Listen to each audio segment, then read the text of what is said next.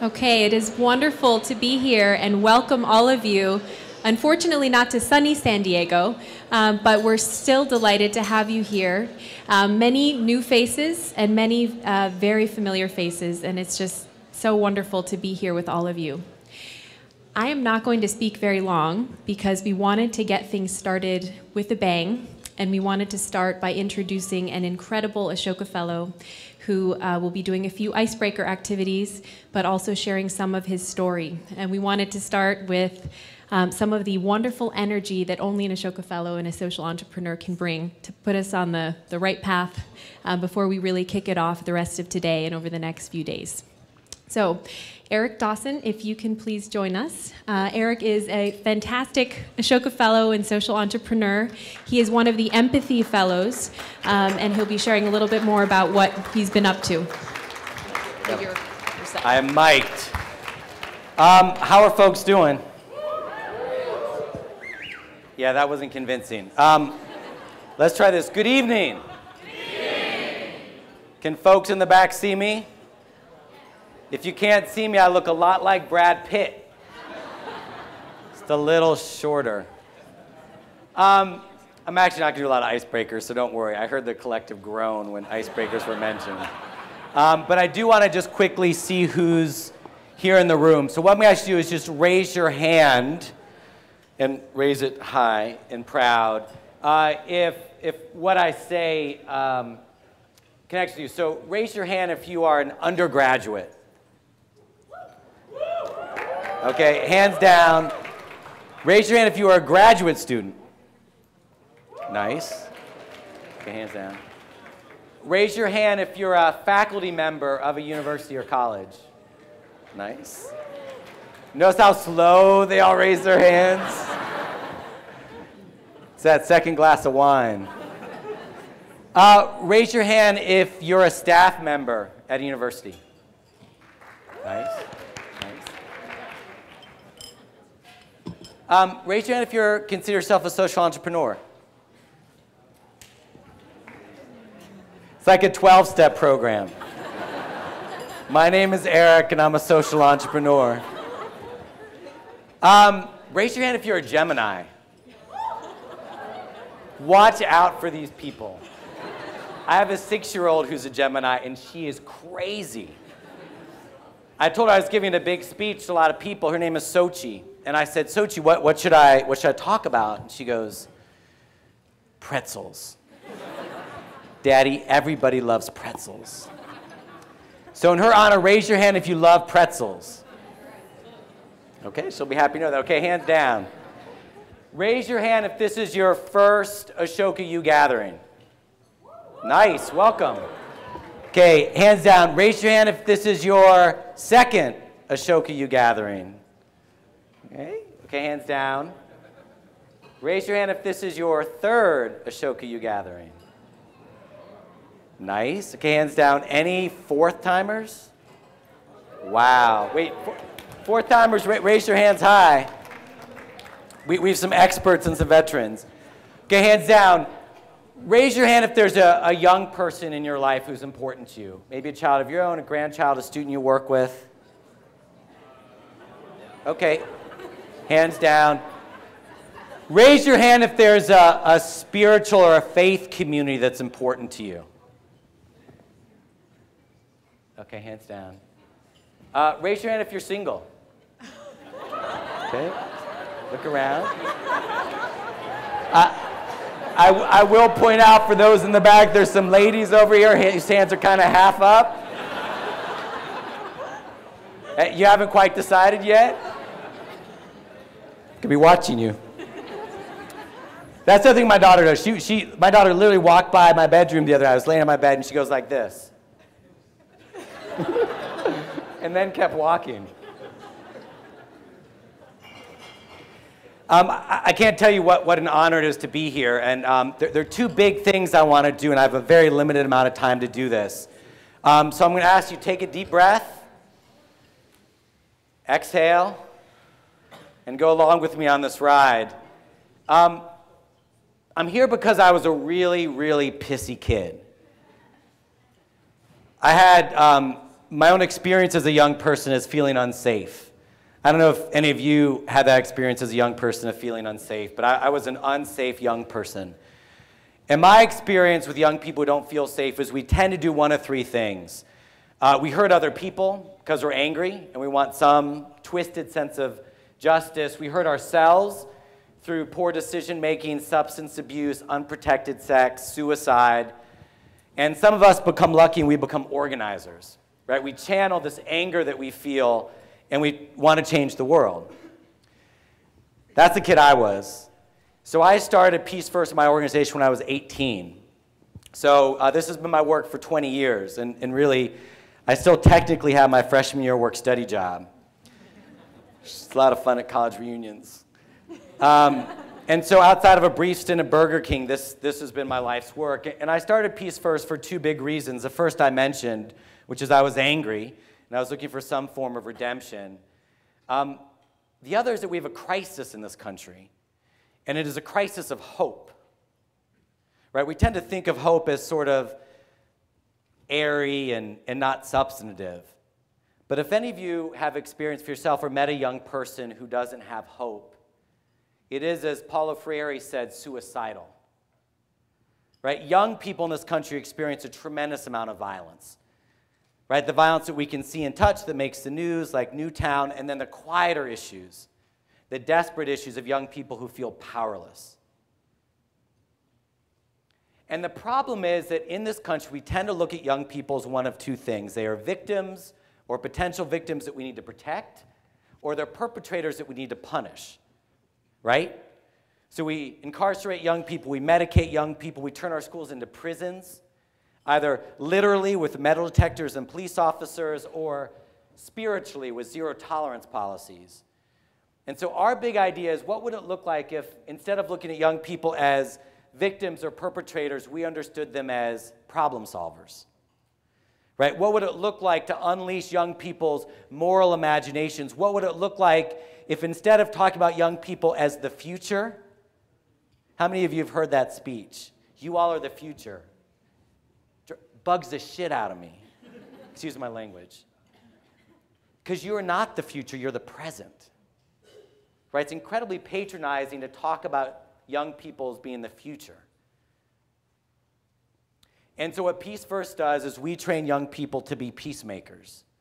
That the same way that kids, we start in preschool and go through eighth grade, the same way that, that kids get reading and writing, they get peacemaking curriculum as part of their school day for 10 years, from preschool through eighth grade. The first half of the year, they learn big skills cooperation, communication, conflict resolution. The second half of the year, they have to be social entrepreneurs. They have to go out in their communities and solve problems. So we have kindergartners who start recycling programs. We have first graders who write joke books for children waiting in children's hospitals. We had a, a group of third graders who were being bullied by the eighth graders in their school, and their idea was to create a yoga program for the eighth graders. These eight year olds had no idea what yoga was. But they did research about the health benefits of yoga, did a presentation to their teacher, and got volunteer yoga teachers to do lessons for their students every week. We had a group of eighth graders who thought their teachers were sexist. Basically, their, their issue was the teachers would ask the boys to move boxes and desks, but never the girls. And if you know anything about 14 year old girls, they're four times the size of 14 year old boys. and they thought this fundamentally wasn't fair right? So that's been my business for 20 years is unleashing young people's moral imaginations. And one of the reasons I wanted to be here tonight is to make a big announcement because we're getting ready to launch a huge project that we just kicked off a couple weeks ago, which is basically creating a Nobel Peace Prize for young people. Right? So we want to take this concept of peacemaking, which is positive, right? Who doesn't like peace? But it's soft right? It's holding hands and singing songs, it's inner peace, it's kumbaya, or it's esoteric, right? It's Dr. King, it's Mother Teresa, it's not us. Right? What we want to do is create an understanding of peacemaking that's muscular and accessible. Right? So that when you all have kids someday, the first thing you ask your kids is, How are you a peacemaker today? And they're thinking about, What did I do in my lunchroom? So we're doing a national search for young people between the ages of 8 and 22 Raise your hand if you fit into that group or you know someone who does. No one here knows someone between the ages of 8 and 22. Raise your hands. This crowd. And we're looking for young people who've done three things who've shown compassion, so who've crossed lines of difference to connect with other people, courage, they've taken personal risks and shown perseverance, and collaborative change, so they mobilized other people. So we're not looking for the young person who raises a million dollars for schools in Haiti or who runs into a burning building to save a family. Great things. We want that young person who brings together rival gangs in her community. Right? We want that young person whose best friend gets beat up and starts a gay straight alliance to change the culture of his campus. Those delicate, transformative, courageous acts of peace. And then we want to tell the stories. So 10 of these young people receive a two-year, $50,000 fellowship to support their peacemaking work. Right? So it's not a one day get your picture taken with the president. This is deep transformative investment in your work. Right? So I want all of you to go out, tweet about it, nominate young people, nominate yourselves. It's really easy. It's two questions because we want to build a movement. Right? I grew up in the just say no generation. Right? Where Nancy Reagan went on different strokes and told Arnold not to use drugs. And then they had the frying pan and the egg and wait, the egg was your brain. I never got it exactly. One of them was drugs. Anyways, drugs were bad, right? And now we've got this zero tolerance, don't be a bully, don't be a mean kid. and the problem, the problem, my friends, is that we don't call our young people to anything. We don't, right? And then we're shocked the young people don't show up. So the idea behind the prize is to call young people to something great. And we're doing this with 4-H and City Year and Teach for America and Campus Compact. We've got 1,200 colleges and universities, a cast of Modern Family and Parks and Recreation and Saturday Night Live, which is great, but we need you all to go out and spread the word. So that, that is my challenge for you, um, to get involved. Also, our, our curriculum's all online. So if any of you work with young people, Download it, it's free, use it.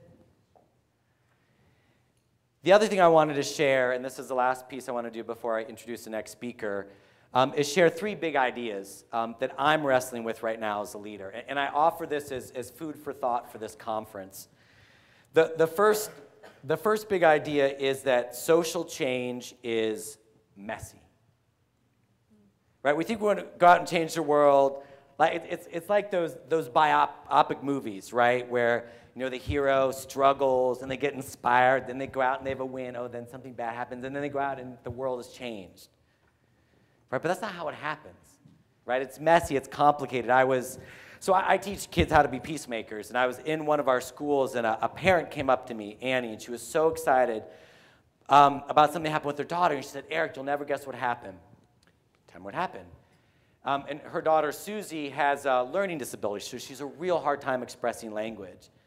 She said every time when Susie gets angry at home, she starts wailing on her brother. Causes some friction. She said, Eric, for the first time when Susie's brother was bothering her, she looked at him and she goes, I'm really mad at you. Then she started wailing at him. right? But it was the fact that that step had been put into her process. This young girl who has such a hard time verbalizing how she feels was able to express herself. And that is what social change looks like. Right? The second big idea is that we have to be able to connect the violence and injustice that we can see and touch with the underlying issues of power and oppression. Right? So if we're going to have a conversation about gang violence, which is something I care a lot about, then we have to talk about young people and jobs right? And why 50% of young people in my neighborhood in Dorchester and Boston can't get jobs in the summertime. Right? If we're going to talk about teen pregnancy as a problem, then we have to talk about sexism and messages that young girls get about their worth. Right? If we're going to talk about teen suicide, then we have to talk about homophobia. Right? And those underlying issues that cause our gay, straight, bisexual brothers and sisters to kill themselves at four times the rate as straight youth. When I was in college, the big divide in the service organization was between students who did direct service and students who did advocacy, right? So students who did direct service said, we're doing the real work. And students did advocacy is like, you're not changing systems, right? And the bottom line is we have to do both. And not just we have to do both, is we have to connect that work. So as you think about your work, think about those connections. Think about those underlying issues and do that weaving. The third point and, and final point that I want to make, and, and this is an idea that I'm struggling with. Uh, does anyone here give stuff up for Lent? Show hands. So uh, what I gave, I gave up popcorn, which is my favorite food. Um, and I also gave up saying, I told you so. I'll let you guess which one has been more difficult. So I want to invite us all to practice this idea of radical humility. So I always understood humility as lowering myself. I've now begun to think of humility as being open to the possibility that I might be wrong. And it's really interesting to go through life thinking, I actually might be wrong about that. Huh, I might be wrong about that. This idea that as great and wonderful as we are, we stand on the shoulders of people who come before us, and we pave a way for folks who come next. The challenge is when we think about something, when we think about movements, when we think about the civil rights movement, we tend to think about moments and individuals, right? We think about Selma and we think about Dr. King. When in fact, the civil rights movement was also thousands and thousands of people, mostly women, sitting around kitchen tables and church pews deciding they weren't going to ride a bus or they were going to register to vote. And so the history of social change in our country, in the world, is a history of those small acts that join together into powerful movements. Leaders matter, events and moments matter. But nothing matters more than those collective actions that we do together. So, this invitation to think about our work as with humility, which again isn't debasing ourselves saying, I'm not worth it, I don't know what I'm doing, my work doesn't matter. But in fact, to say, I'm actually just part of a much larger story. I'm a simple piece of thread in a much larger tapestry, and it's an honor to be part of it. So, those are my messages for you. I've, I've got one last challenge I want to give you for your time here today. You ready? You ready? Yes. You ready? Yes. So, the first thing is to take a risk while you're here. And a risk may be that you're the person who's always the last one to speak in a meeting. Be the first one to talk, put an idea out there. Or maybe you're like me, you're always the first person to speak. Take a break, listen. I will sometimes count to 100 in my head before I talk in a meeting. I'll be like, one, two, three. if you're painfully shy, go up and say hi to someone. If you're life of the party, sit back. Because it's only through dissonance, through discomfort, that we grow. Right? So take a risk, number one. The second thing is when you meet someone tonight, try this. Before you ask what they do or where they're from. Try asking how they're doing. How are you doing? And then when they say, I'm great, say, How are you really doing? I'm not calling you a liar. I just want you to know that I really want to know. The Quakers used to have this greeting for one another where they would say, How goes it with thy spirit? So I want to invite us to create that kind of community here for this weekend. So when you see each other, say, How goes it with thy spirit? Or what's up? Or, you know, whatever vernacular you choose. And the last thing I want to say, and, and, and then I'll be done here, is, is have fun. I mean, come on. We're not canning fish 12 hours a day. Right? We represent 0.0001% of the world's population who gets to choose what they do with their time in the way that we get to choose what we do with our time. Have fun with it. Laugh, meet new people, try new ideas, and remember that being here is a privilege. Frederick Douglass wrote that in the struggle for justice, the only reward is to be in the struggle. Right? That's what we're in, right? We're in the struggle. Let's have fun with it. Tell some knock knock jokes. What did the ocean say to the boat? Nothing, just waved. um, so, thank you. Thank you for having me. Um, thank you for the time. Please, peacefirst.org backslash prize. Check it out, spread the word. We want to tell thousands and thousands and thousands of incredible stories of young people. And I cannot do that without your help. Um, so thank you.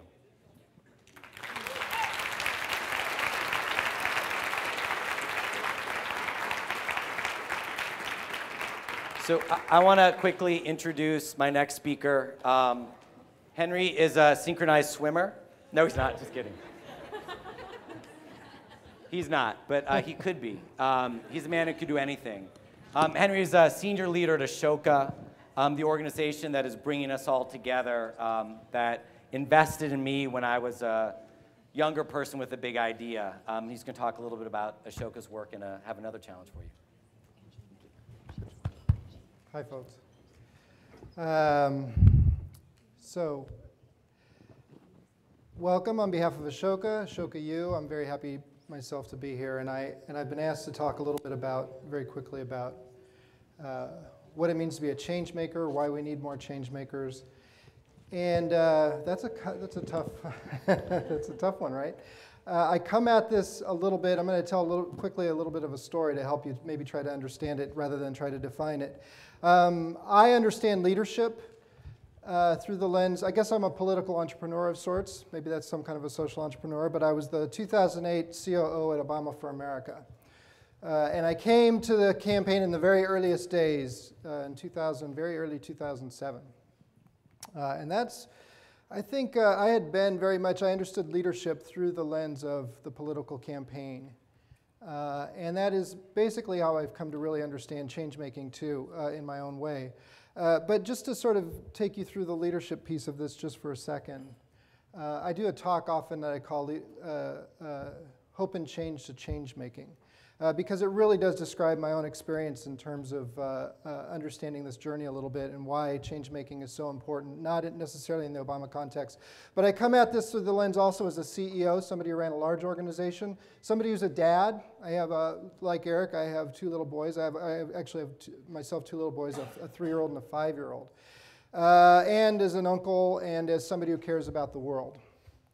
Uh, and um, and I, I, like to say that everything I know about the physics of winning and success I learned from the campaign trail. Uh, you know, you always have a winner and a loser. You always see, uh, it's very entrepreneurial, just like in the business environment. And you always have a sense of the difference between those, who, the successful and the aspiring. And so there's lessons there. It's also very transparent. There's always a camera on the candidate uh, uh, on your organization, in fact, because everybody's watching everything that you do. Your books are open for everyone to see, right? It's very, uh, you know, uh, every dime you spend is, shows up in the public filings that, you that, uh, that uh, are published with the Federal Elections Commission on a regular basis. And if you think about it, it's really pretty remarkable. It's in this, it's in this hothouse environment that leadership is on display for everyone to see.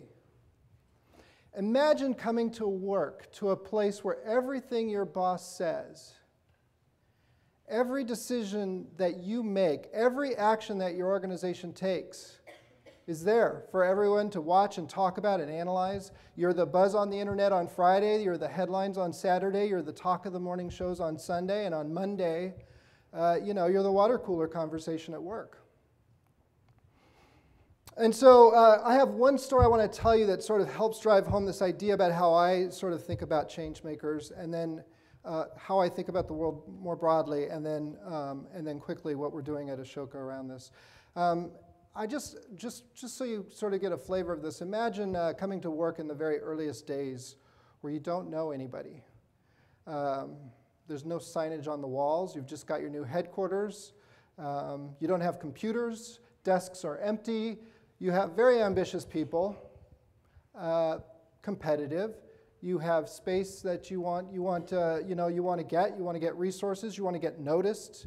Uh, and it's in this environment that people come together, uh, and it can it can become very chaotic and tumultuous very fast. It's from these seeds of, of chaos that most campaigns grow. And so, how do you get control of this organization? How you do that actually makes a difference in what happens later. If you don't get control of this environment, uh, you will grow up in disarray, frankly. And you see campaigns sort of uh, stumble a little bit later on as they go. You don't notice it right away, it shows up in the headlines later. And you know, the elbows are sharp. Not everybody is playing nice when you come in the door. Uh, and frankly, uh, it's hard to get your own way in an environment where there are no rules, no boundaries, you don't have cultural history, you don't have norms, you don't even have an employee manual, you don't have a grievance system. And so, in that environment, you can lose your leadership fast because you know we can all let go of our inner jerks pretty quickly. And uh, we all have one, let's admit it, right? And so uh, it was in this environment that I came into. And so, how did we get control of this, right? There was actually something that happened that helped us. And it was three things that came down from the candidate. Three principles. One, you've heard, no drama. Two, build it from the bottom up. And three, respect everyone. And that gave us a culture. That immediately gave us a culture that we had to work within. We had to be collaborative. We had to be, uh, we had to be respectful of each other. Uh, and and uh, it's true we grew up in silos. When you're growing up fast, you do grow up in silos, but I will tell you that those silos came down pretty quickly in our case. Uh, we had technology pretty much flatten our organization. We had a lot of changes that we had to go through. We went through everything from, you know, uh, uh, you know, obviously a very exciting battle with uh, Hillary Clinton. We had uh, the Reverend Wright crisis, which basically caused a stock market crash at some point. Fundraising stopped. We had layoffs, just like an organization had. We rehired people. We had everything, but things were happening so fast and coming at you so fast and there's, I was asked later in the campaign, close to October, November, by somebody who said, uh, David Gergen, who was, who's, who, who's a professor of mine at, at, Harvard, but he's been in four administrations and he's been on CNN, obviously, quite regularly. And he said, What was the secret to your success? And some people might say, Well, it was social media, it was uh, a gifted candidate, um, you know, young people, the enthusiasm of young people. But my answer was, it was because we had a type of person. And this is the thing that I think a lot of people, the, the, television cameras don't pick up. But from that culture of no drama, respect everyone, build it from the bottom up, we were also given a profile of the type of person we should hire. Not necessarily people with long campaign resumes, not necessarily people with hard political skills. We were actually looking for a type of person who could be collaborative, uh, who could uh, think on their toes, who could command their leadership in their space. And in that sort of environment, as we moved from silos and we broke down and we moved into sort of a more flat organization and we were, we were fielding things fast, things were coming at us fast all the time. It's not what do you do in a crisis, it's actually actually deciding if you have a crisis right? And so uh, there were opportunities that we had to seize, problems we had to solve, and every single problem had a different set of players around it. We didn't solve problems by department, we solved them by teams. We figured out who needed to be at the table. We solved the problem. We saw opportunities come up. We figured out who needed to be at the table. We solved the uh, we seized the opportunity. And in that environment, you didn't have sort of a structured, uh, uh hierarchical uh, system, what you had was a fluid team of teams environment. Now, why do I tell you this? A couple lessons that come out of this about my understanding about change makers. What I said to my friend, Mr. Gergen, was I explained this to him. I said, What we had in the end was somebody, everybody who worked with me had, I had confidence that they had an innovative mind, a service heart, an entrepreneurial spirit, and a collaborative outlook. He said, Oh, you hired leaders. And I said, I only hired leaders. If I didn't hire a leader in a position, I actually, it was a wasted hire. And the truth was, that was actually counter to what people think of leadership. They still, even still today, people think of one leader at a time. Somebody points the way, we all charge forward. But in this environment that we had, this fluid environment, no rules, people had to be very collaborative, uh, entrepreneurial. What we really had was a different kind of space that we were working in and a different set of rules. And I would just argue that this is the kind of world that many of you are graduating into. The world is breaking down. We're coming out of our silos. Everybody has a stake in everything together.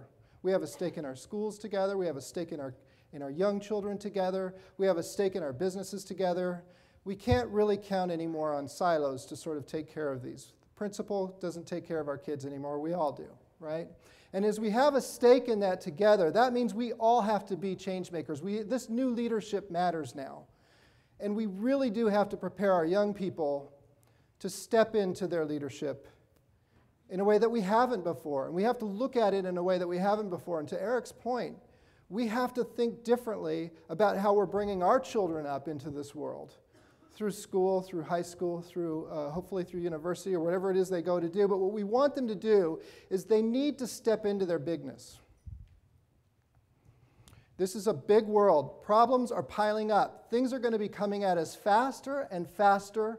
Opportunities are going to come at us faster and faster. We will miss them if we're not able to structure into a more fluid society and command our space as change makers. And that's sort of what we're doing now uh, uh, here today, over the weekend. Hopefully, we're thinking about people stepping into their bigness, which calls on, by the way, us to be in our biggest places.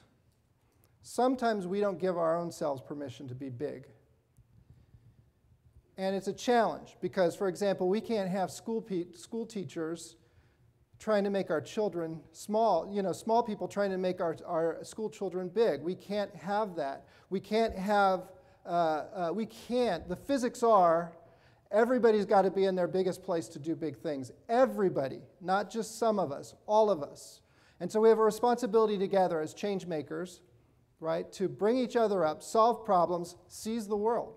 And we are building, I, I, see Marina, and so I'll just wrap this up. We are building a movement now. It's starting in this room. It started in this room, but we have it happening now on every continent where we have school teachers teaching children to master empathy so they can be change makers and collaborators, uh, teachers helping uh, uh, secondary school uh, students uh, be collaborative, practice the skills of change making. And we have folks at universities, in business, people like me who get this. Hiring change makers is going to be the commodity of the future, the valued commodity of the future. And so, uh, so we're going to talk a little bit more over the weekend about this. Um, I, will stop now. I'm just, I'll have one challenge that I would also put to everybody. Find, think within yourself, what is the thing, the small voice or the big voice, that's stopping you from stepping into your bigness? Because we need everybody this weekend to be in their biggest place so that we can get a lot done together. Thanks very much, folks. Let's see. Good evening.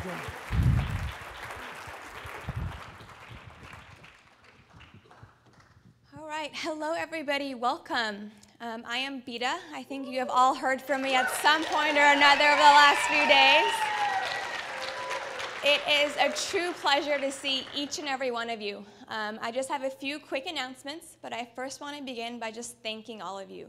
This would not be possible without each and every one of you, the exchange community, our colleagues, our advisors, our sponsors, and our partners. So a huge thank you.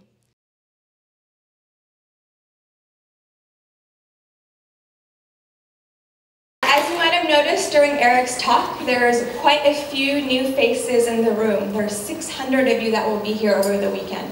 Um, so if you take a look at your name badge, um, they are color-coded. If you have a tan name badge, um, it means you've attended an exchange before.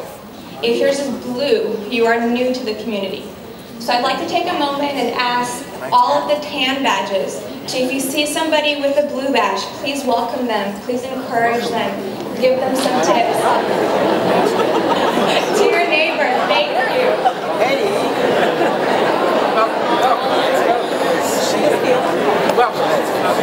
You've been, you've been here. And then the blue name badges. Oh, it's a fake. It's a fake.